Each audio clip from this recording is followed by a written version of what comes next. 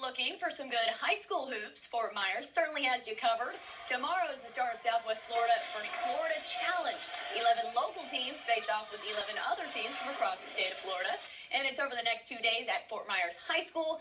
Fort Myers girls kick off teams tomorrow at 4.30. Lehigh plays at 6. Fort Myers boys at 7. And Dunbar wraps up the day with a game at 9.